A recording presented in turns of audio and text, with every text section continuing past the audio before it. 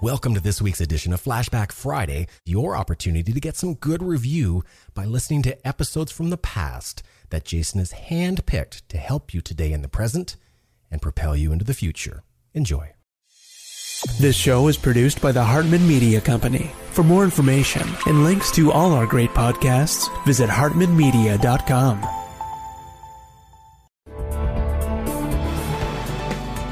Welcome to Creating Wealth with Jason Hartman. During this program, Jason is going to tell you some really exciting things that you probably haven't thought of before and a new slant on investing. Fresh new approaches to America's best investment that will enable you to create more wealth and happiness than you ever thought possible. Jason is a genuine self made multimillionaire who not only talks the talk, but walks the walk. He's been a successful investor for 20 years and currently owns properties in 11 states and 17 cities. This program will help you follow in Jason's footsteps on the road to financial freedom. You really can do it. And now, here's your host, Jason Hartman, with the complete solution for real estate investors.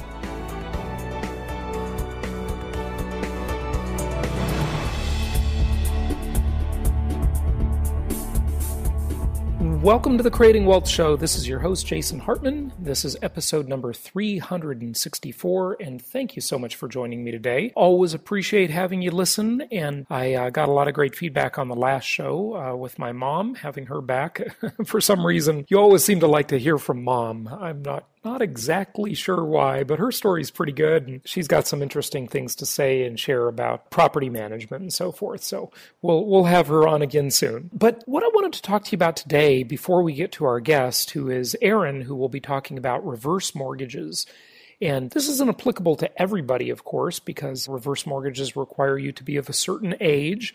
However, I think you'll find it interesting because it has broader implications on the real estate market and the economy as a whole, I think this is destined to become a lot more popular over the years. And anyway, I just think it'll be an interesting uh, discussion, even if it doesn't apply directly to you in terms of you being able to get a reverse mortgage. But before we get to that, a couple of things here. First of all, I heard a great quote today that I wanted to share with you. It was in a in a book that I was reading, and it is uh, I looked it up to just get the exact quote from from the internet. And I found it on a website that says it's falsely attributed to Buddha.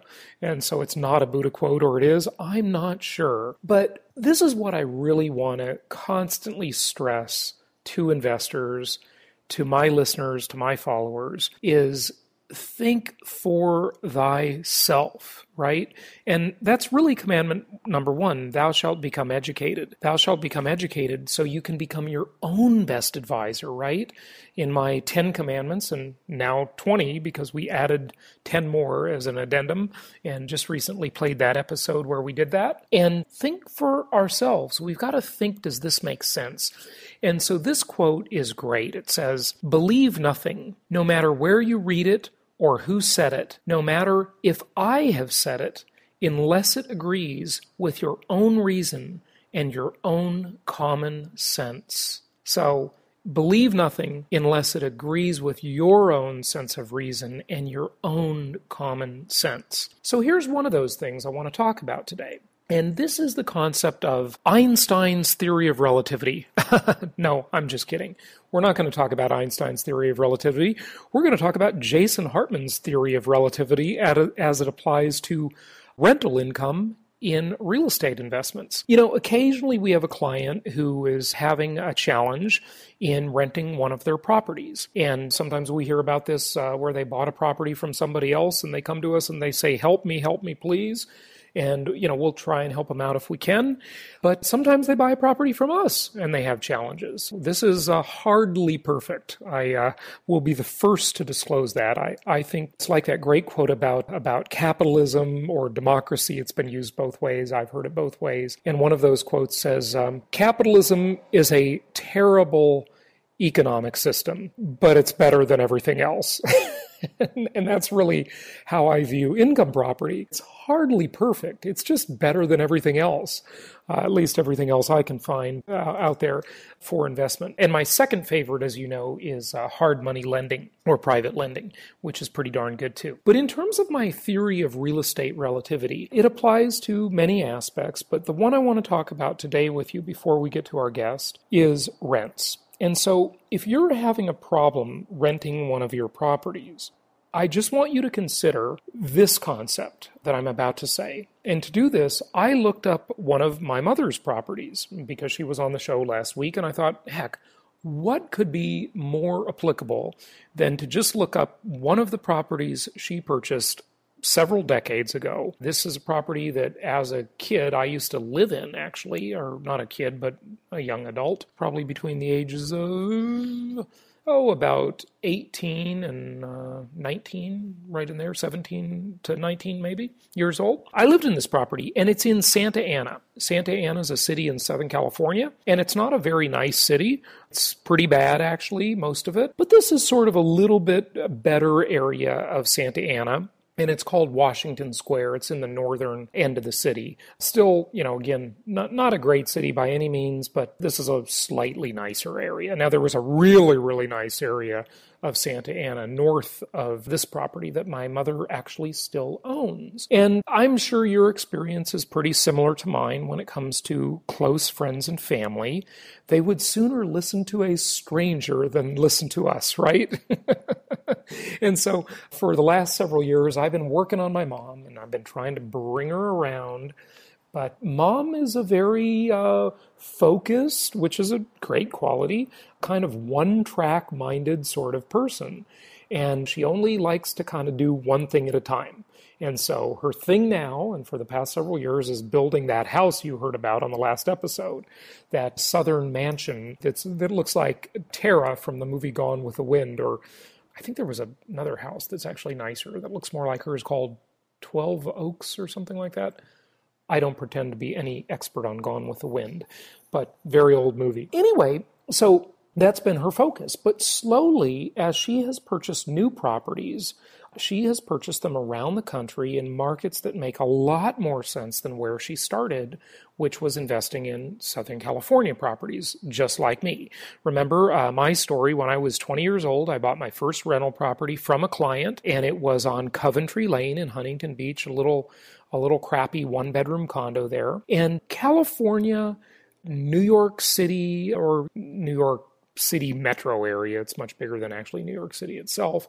South Florida areas like Miami, Fort Lauderdale, Chicago, kind of, you know, some of the more expensive areas of Chicago or more expensive areas anywhere. Uh, Seattle, the Pacific Northwest, Portland. We haven't been able to make any of these markets work. And it, believe me, it's not for lack of trying, it's just that the prices are too high. Welcome to this week's edition of Flashback Friday, your opportunity to get some good review by listening to episodes from the past that Jason has handpicked to help you today in the present and propel you into the future.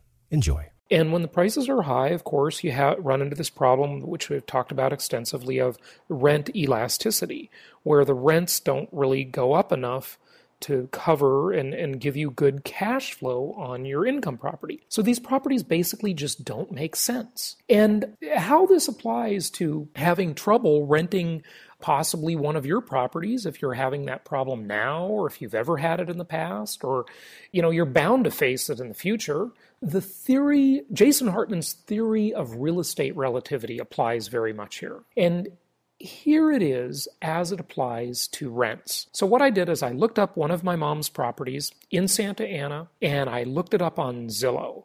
And I found that the Zestimate, now listen, Zillow, the big disclaimer here is Zillow is notoriously inaccurate. And so is Trulia and all of these sites that you know, use algorithms to give you real estate data. But not always. Sometimes it's pretty close. And this time I think it's pretty darn close. And so Zillow said that this property was worth $455,000. And the reason I wanted to use this one is because it's a good, like, just middle class, maybe, you know, a little bit lower than middle class, or I don't know, middle class in Southern California property. You know, if you can believe 455,000 is middle class, right? You know, this is an old house. It's not that nice, really. Uh, I mean, I used to live there and it's kind of a crummy little house. It has three little crummy bedrooms and one and a quarter, or I'm sorry, one and three quarter baths. Okay. Anyway, so 455,000 is what Zillow said it's worth. And Zillow estimated the rent at $2,400 and change. You know, we'll call it $2,500 for round numbers. And so I called my mom up and she's at a Mardi Gras parade for some funny politician who passed away. And the reason this guy is a funny politician, forgive me, I can't remember his name, is he had he had a whole bunch of wives and they have a parade just for this guy. And all the wives are in the parade and they're all, you know, wearing black, mourning his his passing. And there were a bunch of undertakers on a float. And i'm like this is just kind of weird morbid humor. Anyway my mom was telling me about it. But i said hey mom how much does this property rent for? And she said well i just re-rented in september for $2500 my mom knows off the top of her head what every one of her properties rents for. Granted she doesn't have that many. She's got like, what, 15 or something like that, I think, maybe 16. So she said, I just re rented in September to a family of six people. There are six people living in that little house, so that means two per bedroom. And the house is not very big. I would guess it's probably 11, maybe 1,200 square feet. And she rented it for $2,500. And I thought, wow, this time, uh, and then I said, well, what do you think it's worth? And she said, I don't know, it's probably worth 400. Now, she doesn't keep very close track of her values of her properties. And that's really one of the lessons that I talk about is, you know, don't be con- too concerned once you own it about the value of the property. I mean, heck, we don't invest for appreciation. If it happens, great. It's icing on the cake. It's wonderful. And, but that's not really the core of our philosophy. The core of our philosophy is cash flow investing. And so I said, "Well, do you think maybe it's worth 450, 455?" And she said, "Yeah, I guess it's probably worth that much." So it seems like Zillow's pretty accurate. Well, what does this tell us? It tells us that if the property is worth 455 and the rent for six people occupying the property, probably putting some pretty significant wear and tear on that property. Uh, and by the way, until last September, it was rented for $2,300. She had the same tenant there for eight years and the last rent, eight years, tenant stayed, and the last rent was 2300 so this property, if you do the math and divide it, your rent is 0.00549 of the value.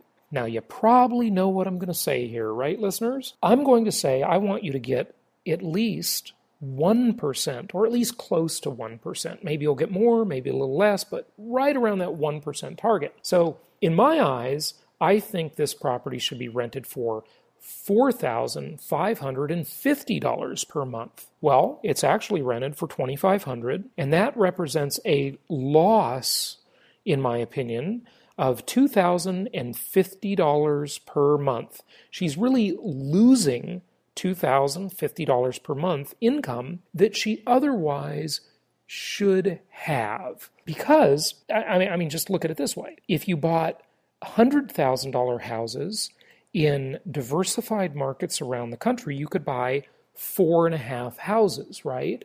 And if they each rented for 1% of the value, you would get $4,550 per month, right? And you'd be diversified and you'd be far better off, in my opinion. Now, you might be saying, well, Jason, you know, I know you're all about cash flow. And, you know, you'd be right. That is what I'm about. But Southern California, I mean, doesn't that market appreciate better? Well, not really. And here's why. You know, as you know, that's a cyclical market versus the markets that we recommend are very linear markets, or at least hybrid linear cyclical markets. And in a market like Southern California, you're going to have big ups and you're going to have big, ugly downs, really bad ones that hurt. And, and so the values fluctuate, and there's a lot more volatility than you have in these more stable markets, which also, you know, they have volatility too. I'm just saying that the volatility is less. because you have more inexpensive properties where the prices are much closer to the cost of construction. Yes, they can still go down, and they have gone down, but overall, less volatile than the more expensive properties. And, you know, I had a great example of that. I've got to find this old PowerPoint slide. I used to use it as an example in, in my seminars and I, in the Creating Wealth uh, boot camp, but I haven't been presenting it in a long time. And I'm not sure why. Just to shorten my very long-winded day, you know, that takes about it's about a nine-hour day when you come to that boot camp. Okay, and what it basically did is it compared Orange County, California, the OC, to I think maybe Kansas City, Missouri, a market that we've done business in in and out mm, over the years. And it compared the two of them over, I think it was an 18 year period. And I, I kind of trick the audience into guessing which market they think uh, appreciated better in this 18 year cycle.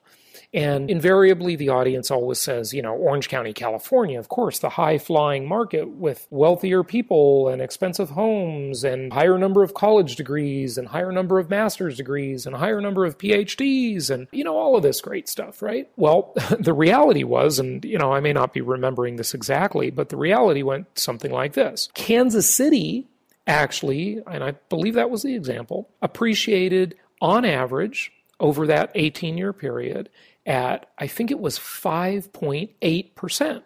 And Orange County, the f- much more famous place with seven television shows about that dumb town where I lived for a couple of decades, uh, you know, and before that in uh, Los Angeles area as I was a kid. That place, it only did about 5.3%.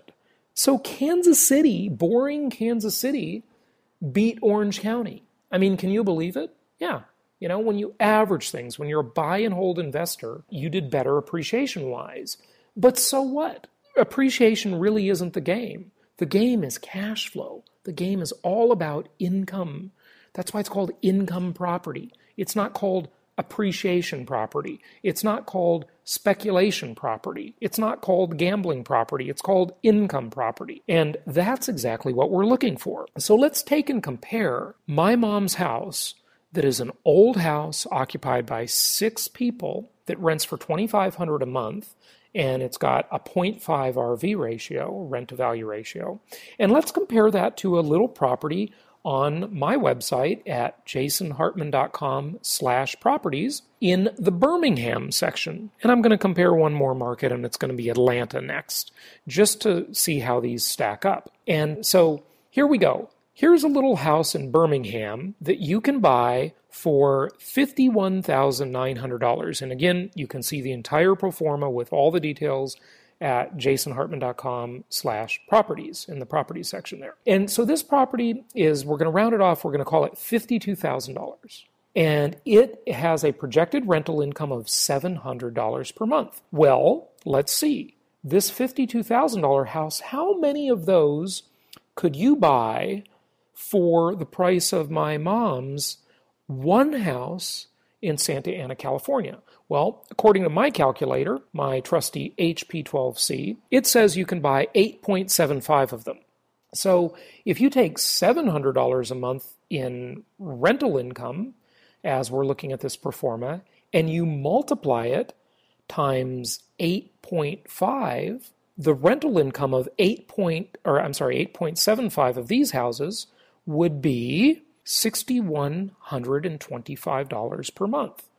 That's $6,125 per month versus the paltry $2,500 per month my mom is getting. Now, see, my mom doesn't believe this anymore, but after many hours debating this with her and trying to get it through her head, because of course I'm her son and she'd sooner listen to some stranger than she'd listen to me, right? it's just the way human nature is.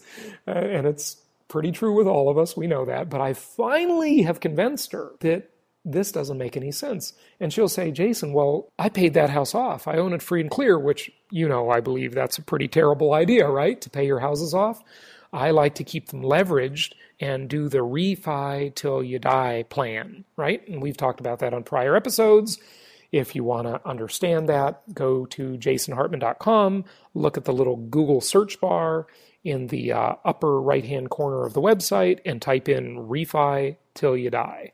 And you'll find the podcast on that and some documentation about it and so on and so forth. So here, this property, $6,125 per month. You could own almost nine of them. So you've got a loss there that's very significant every month. Now, what if you take a nicer property and you look at Atlanta, Georgia? Okay, now Atlanta is a great market, done business there for many years. Lots of good client feedback from Atlanta. Some problems here and there, and I'm going to tell you how to overcome your rental problem here in a moment if you have one. And if you don't have one, and if you haven't had one, you're going to have one. So that's why we're talking about the theory of relativity here. We'll get to that in a moment. So this one is on the website at jasonhartman.com if you want all the details, but I'll just give you an overview. This house is $124,900. And you know, this same thing applies to multifamily apartment complexes too, uh, in high priced versus lower priced markets. I'm just using good old single family homes as an example so we can keep the comparison as apples to apples as possible. So here we go. We've got this property for 124.9. Let's call it 125. We'll round it off. And the projected rent here is $1200 per month on this fully renovated property. And by the way, almost every single one of our properties is fully renovated. Occasionally there's an exception, but the vast majority are completely rehabbed or renovated. Now, this property, if you wanted to spend $455,000, the value of mom's home in Santa Ana, you could buy 3.64 of these houses. And you could take that $1,200 a month in rent and you could multiply it times 3.64, and your rental income would be $4,368 per month. 4368 per month. So compare that and the fact that you're diversified, not all your eggs are in one basket. They don't necessarily all have to be in one city, which I think is a great idea to spread it around a little bit. So if one city goes down the tubes, You've got another one there that won't, so you can diversify, spread your risk a bit. And here, even if they are all in the same city, you know, if one goes vacant, you've still got 2.64 that are hopefully occupied. In the Birmingham, Alabama example, uh, if one goes vacant, you've still got 7.75 that are hopefully occupied, right? So you, you spread your risk through diversification in that way. In terms of vacancy, in terms of market risk, geographically, you can spread it as well.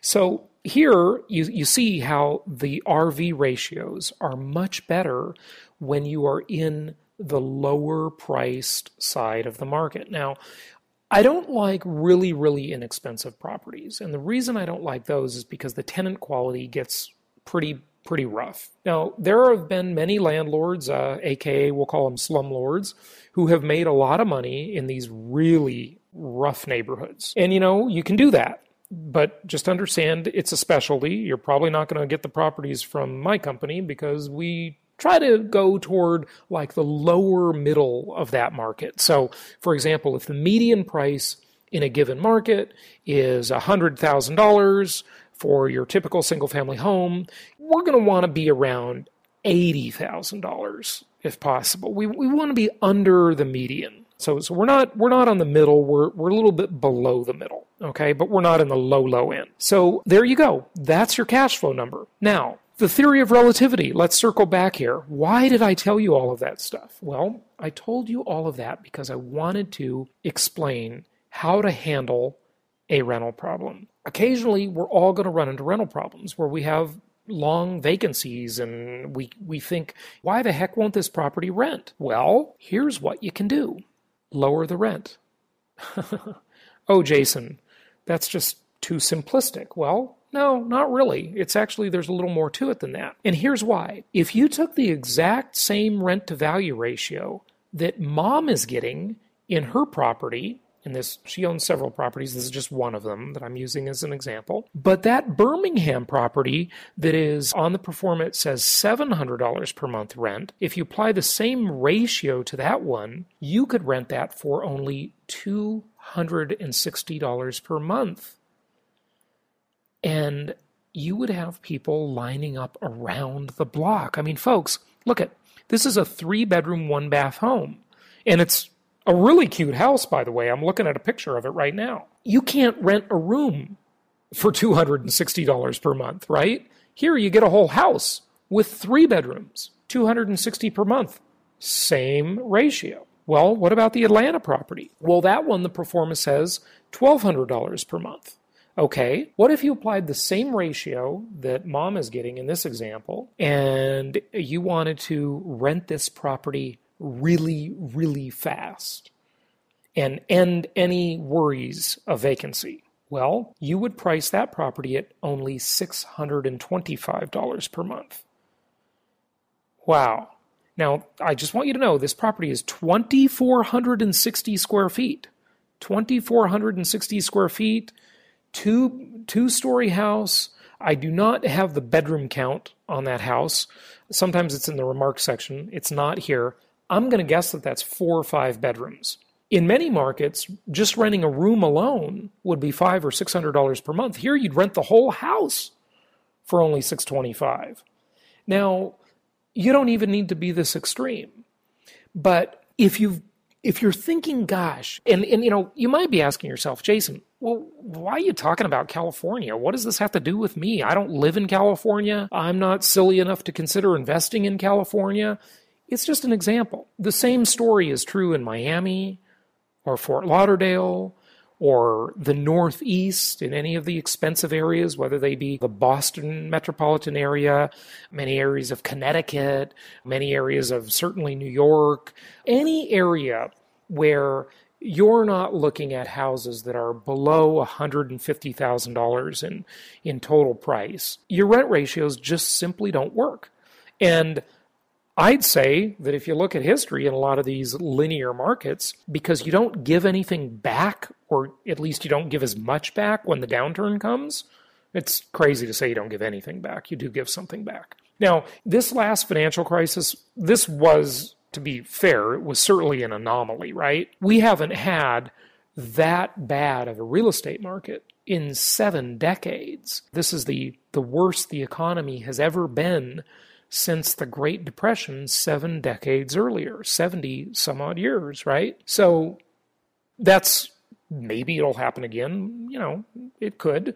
But the likelihood is the downturns will be a little less pronounced and significant than that. In the future, we can blame the Wall Street crooks for that. Uh, we can blame the banks and the lenders uh, as well, but to a lesser degree. As I've told you many times before, I, I saw the foreclosure crisis coming. I predicted that. I, I talked about it, uh, you know, at live events and published that numerous times. I, I knew that was coming and I knew it was going to hit in late 2005. That was the mortgage crisis. But I did not know, I, and there's no way I could have known because I'm not an insider. I don't work for Goldman Sachs. I don't, I don't work in, in government or in these Wall Street firms that were basically destroying the world with toxic financial assets. They're financial innovation, right? Anytime you hear financial innovation, run for the hills because that usually means uh, the money is going to move from your bank account to their bank account. so, you know, I didn't know that they were polluting the world with toxic debt and credit default swaps and all this kind of stuff that we all learned about post financial crisis. But I, I certainly knew that the lending was way too aggressive and they were giving loans to people who could fog a mirror. I mean, it was ridiculous. They just weren't qualifying people, and the banks were being just completely stupid. I knew that was coming. But the second part of the crisis, no, I didn't know that one was coming. So, what do we have going on? What's going to happen in the future? Nobody knows. But I think we can all all pretty much feel fairly secure in the knowledge that government's solution to everything and central bank's solution to everything is inflate, inflate, inflate. Inflate your way out of the mess. It is the most painless, it is the best business plan. It really works pretty well. I mean, philosophically, I hate it. I think it's completely stupid. But given, you know, the fact that our government and many governments around the world are irresponsible and they just spend too much money, Yeah, I love the Ronald Reagan quote. He said, uh, To say that government spends like a drunken sailor is an insult to drunken sailors. and that is certainly true. So if we're going to have this happen, it's not going to stop as long as you have politicians that want to buy votes, right? So the, the likely response will be inflate your way out of the problem. So with that, we already are planning for that. We're already investing for it. We know how to how to how to game the system. We're doing the exact same things that some of the most powerful people and entities on planet Earth are doing to hedge against that risk. We're investing in commodities that have intrinsic long term global value that are needed by every single person on the planet, that are traded in every single currency on the planet, and we are buying them with long term fixed rate debt that we are outsourcing to another party called a tenant. And at the same time, we're getting the most favorable treatment, the most favorable shield against life's, life's single largest expense taxes, because we're investing in the most tax favored asset in America and the most debt favored asset in America. I mean, try getting the kind of wonderful positive Dave Ramsey be damned, okay? you know, you, you know my thoughts about Dave Ramsey, okay? I mean, he's okay for people just starting out in life, you know, regardless of age. That doesn't mean that has nothing to do with age, by the way. It has, it means starting out on the path to financial freedom. But his deal is not about investing. We're talking about investing, okay? We're not talking about consumer debt. We're talking about good debt debt that we can use to our benefit, debt that helps us game the system against irresponsible government spending and central banks and the welfare state. That's what we're doing. Anyway, I hope you like that example. So, look at everything will happen at a certain price. I remember years ago, I was sitting at a small round table that was uh, sponsored by the Young Entrepreneurs Association, YEO at the time, now called EO uh, or just the Entrepreneurs Organization. And that's like a sister organization of YPO or Young Presidents Organization. And I remember listening to this guy who was talking and he was he was very successful. I don't remember what business, but he said something that you know, it made a lot of sense to me. He said, How many problems do you have today that you could solve instantly by just writing a check? And I thought, you know, I've got a few of those, and I've got the money to write the check. Maybe I should just get rid of a few of these problems and solve them by buying my way out of them. That is a, uh, a wonderful privilege when we control assets, whether they be money or things like commodities, like rental properties. So, how does that apply to you? Well, if you have a problem and you're thinking, gosh, I can't get this damn house rented, what is the problem renting this house? Try renting it at a California rent to value ratio of 0.5%, and I guarantee you will have people lining up around the block. I mean, of course, you know, assuming you have proper marketing. Uh, you know, if you don't tell anybody it's that cheap, you're not going to have anybody line up. You'll probably have a bidding war for tenants where you'll actually end up renting the property above what you listed it for. So that $1,200 a month rental property, if you list it for $625, I bet with the right marketing, you'd end up getting 750 for it. you know, you'd be you'd have tenants bidding against each other. You'd literally have a bidding war. Uh, it would be my uh, my my guess. Okay, so rental problems are not problems. They're just do you want to buy your way out of it? Do you want to lower the rent? And get it solved. Now, listen, I don't want you to lower the rent. I want you to raise your rents every year. I want you to try and raise your rents 4% every single year if you can. Now, granted, that depends on the interest rates. Why? Well, because the tenants have choices, right? They may want to go and buy something. If rates are really low and qualifying is easy, they're going to be sucked into the buying market. Now we have an interesting thing because we have very low interest rates, but qualifying is very difficult. So it's kind of a quandary. If you can qualify, you the world is your oyster, so to speak. and a lot of tenants can't qualify. A lot of them have foreclosures, and that'll keep them out of the, the, the buying market for a few a few more years. Well, good for you. Strike a win-win deal with them. Serve them give them the housing they need until they can get back in the buying market and get their credit repaired or or just wait for you know their credit to improve automatically because this stuff comes off eventually. And it's it's a great win-win deal. So uh, there you have it. My theory of real estate relativity across multiple geographies. You can write your check if you will by making the rent such a bargain that the property rents. You know you can make it a special where you uh, you you do it the first year and then you raise it back to the market rent the next year. And you might lose the tenant but maybe your situation will have changed. Maybe the market situation will have changed by them. If if you lower the rent $200 a month times 12 months that's $2400 right?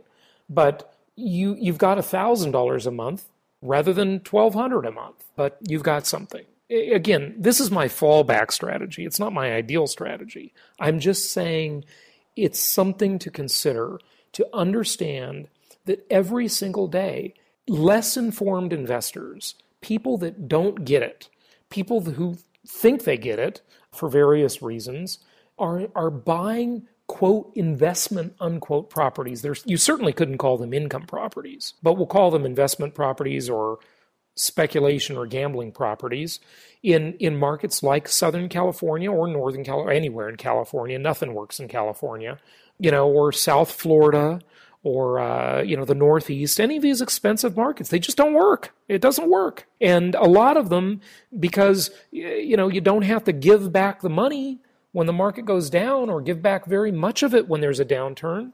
Really, overall, over time, your average appreciation rate is better. So it's it's something to consider. All right. I've rambled on long enough. Check out those properties at jasonhartman.com. Click on the properties link and you'll see them there. You can see the full pro formas and also check out the blog and the member section and everything else while you're there as well.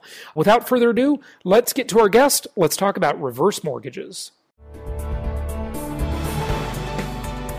I'm here with Charlie Ridge, and one of the things, Charlie, that investors are constantly disappointed with is that they're quoted a rate in one place or they look online and they see a rate for a mortgage, and then they're switched, and it's kind of a bait and switch, and they find out they have to pay a higher rate. What's going on with that? I get this question almost every day. They're looking at the difference between owner occupied type rates and non owner occupied type rates. The one is always going to be less than the other. Investor mortgages are just a little bit more expensive, folks, but remember, as an investor, you don't pay your own mortgage, your tenant does. So it's a pretty great thing. Charlie, where can they find you? www.ridgelendinggroup.com. Fantastic. And if you forget that, you can contact your investment counselor at jasonhartman.com.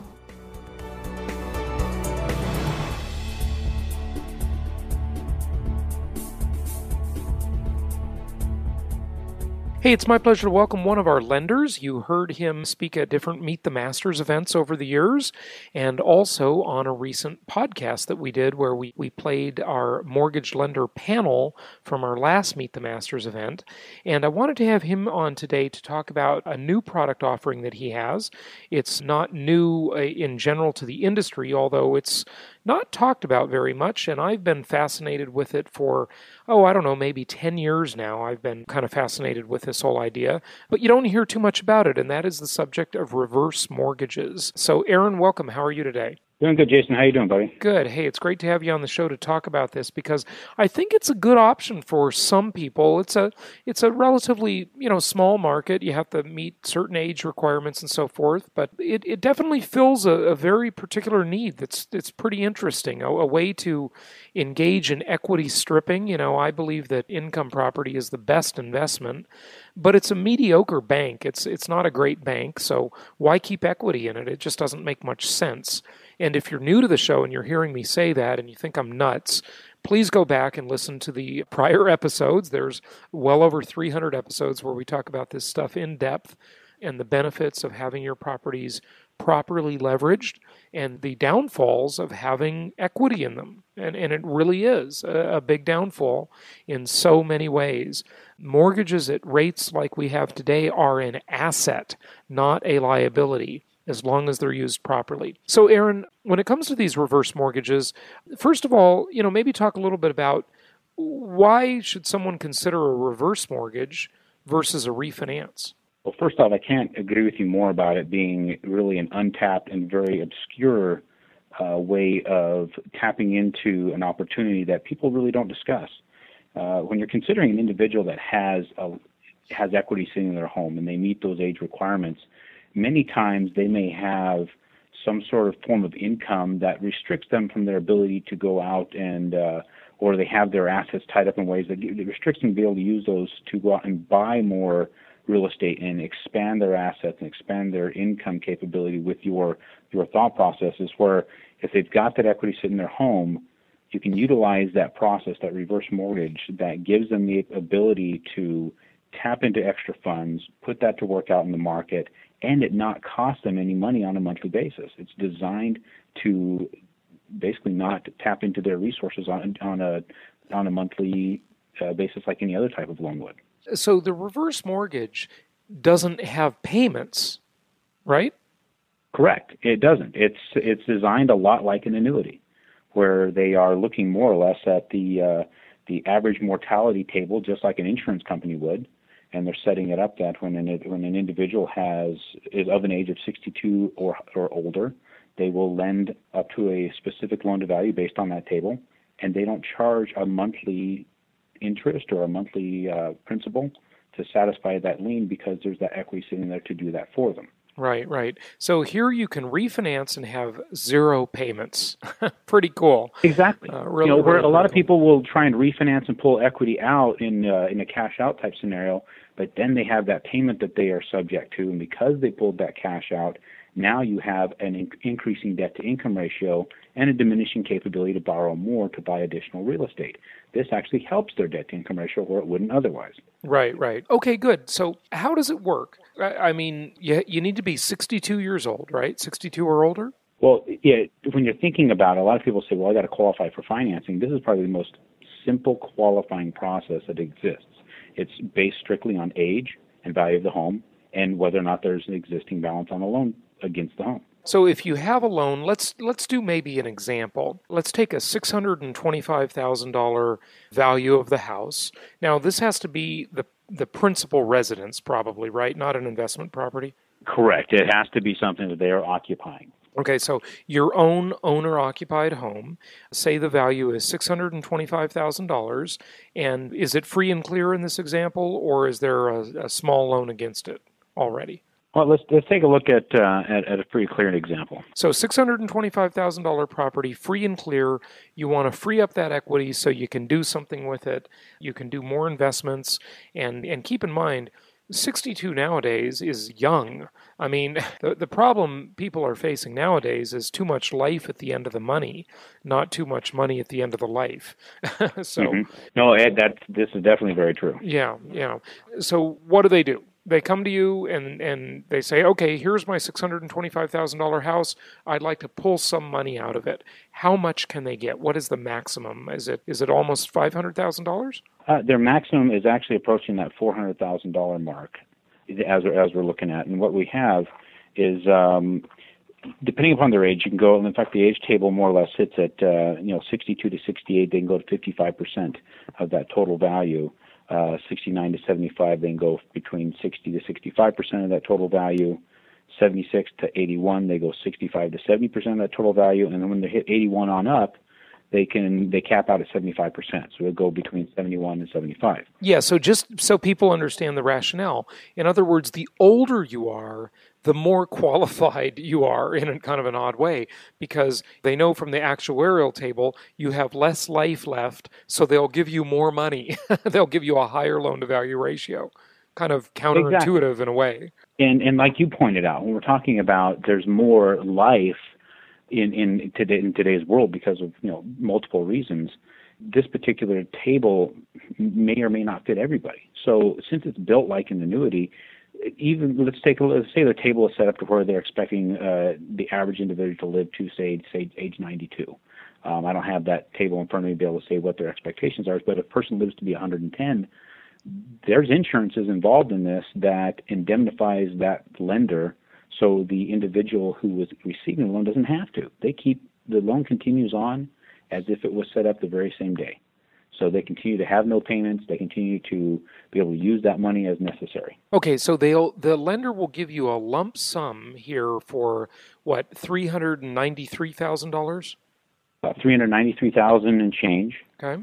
And the the person can use to put that in their bank account to uh, use that to invest. They can uh, they can do several ways. There's a really really good uh, a really kind of a newer system that's used that that AARP has stated that borrowers have recognized about 66% of the time as be the best choice for them, and that's refer, referred to as a, a uh, reverse mortgage credit line. So you get the money. Say that let's take that figure 393,708. You've got those funds. It's available to you, but you're not borrowing it. You're not using it. It's just sitting in that account. Well, there's still that interest accruance that comes um, as a result that should be going against the equity. Well, since that's there and the individual is not really using the money, the way that that's written, the bank will actually have to increase the credit line by the amount of the interest on a monthly basis. So let's just say that interest would have been $1,000. They have to increase that credit line by that $1,000 plus an additional, I believe is 1.25% of the balance. So you're seeing a increase in credit availability every month when you're not using it. So some of the clients I've spoke with about about this, and let's just say they they get a two hundred thousand dollar credit line, and they only use a hundred thousand of it. Well, they're having the interest accruance going onto the balance of that hundred thousand dollars. Well, the under the other hundred thousand that is sitting in the account being unused is getting that interest increase in their balance, I mean, in their availability, plus an additional one and a quarter percent. It's offsetting what they're using.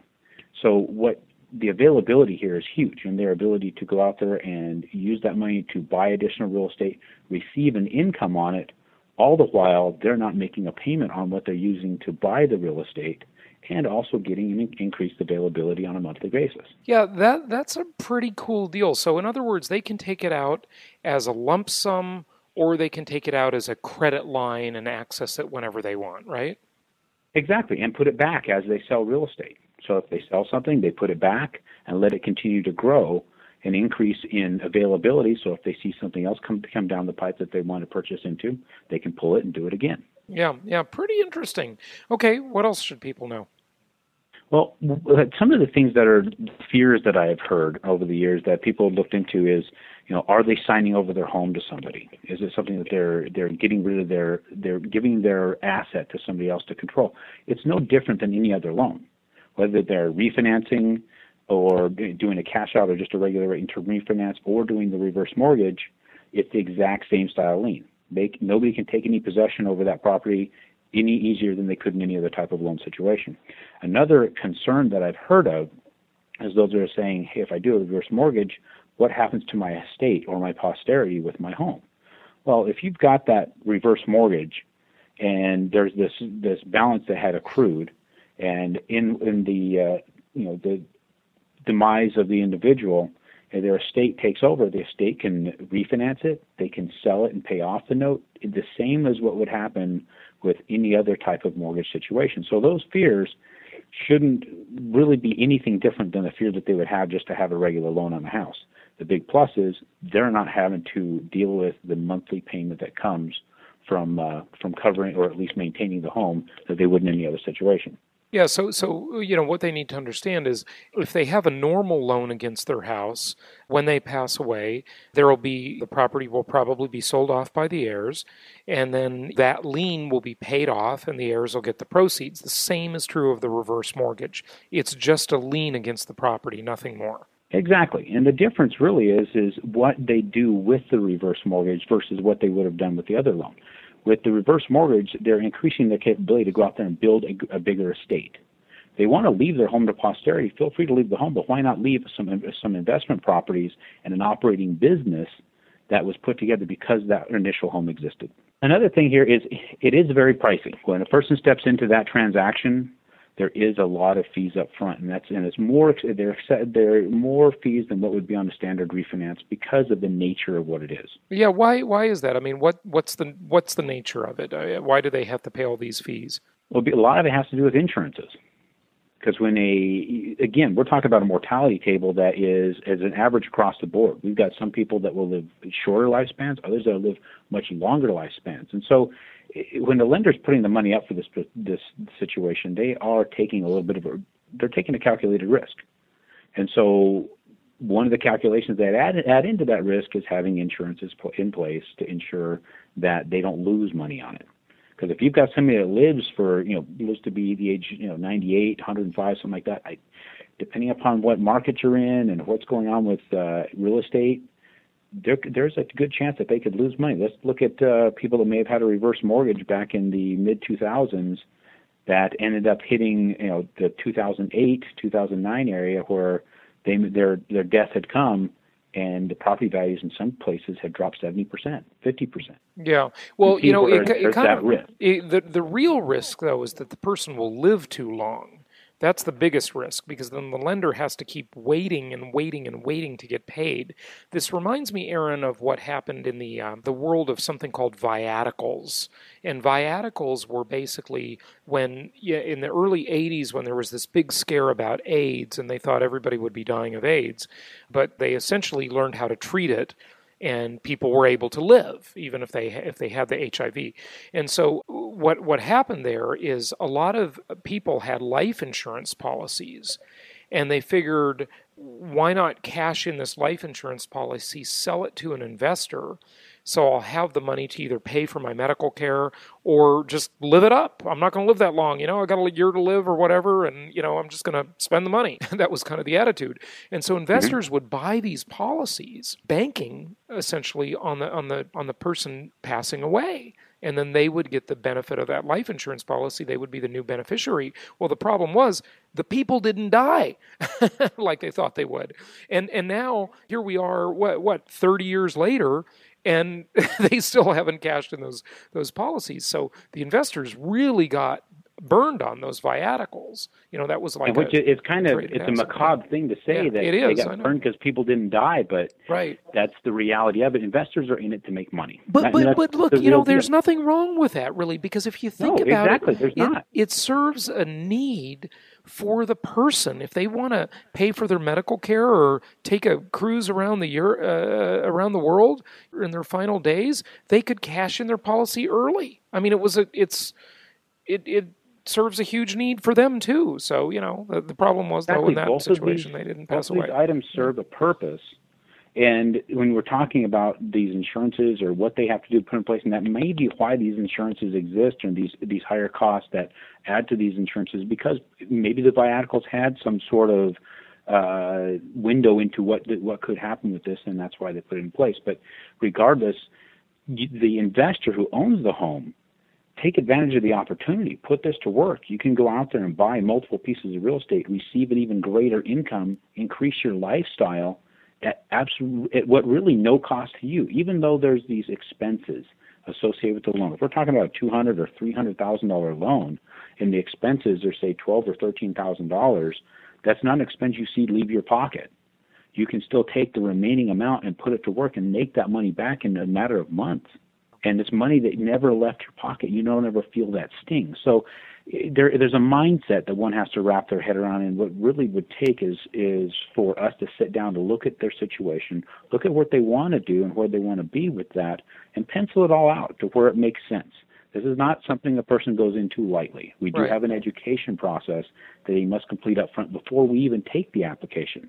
They have to go through all that. They have to understand it fully, and then we pencil out how does this work for them to get them to their to their ultimate goal. It does it get them closer or does it not? If it does, it's very much worth looking at. One, you know, some of the pros are there's no qualifying to access the equity in the home.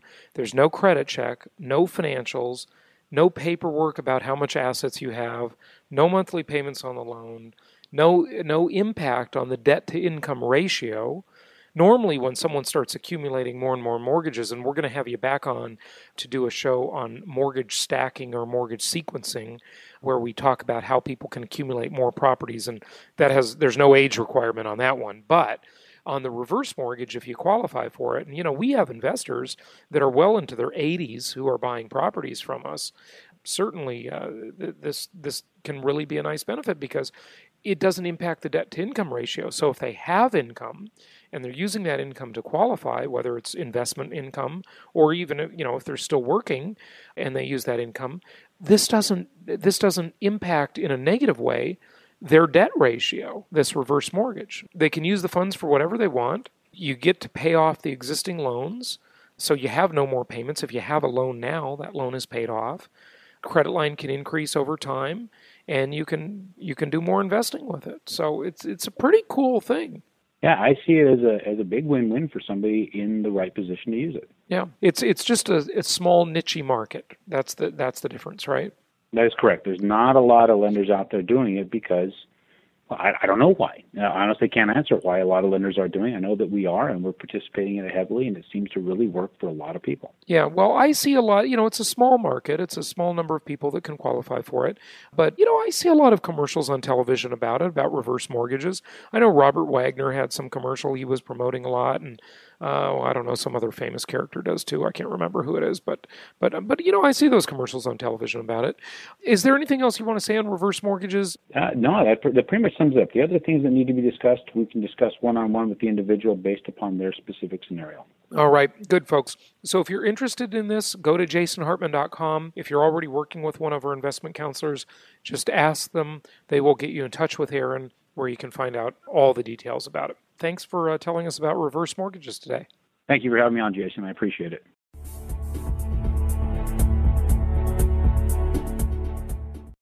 This show is produced by the Hartman Media Company, all rights reserved.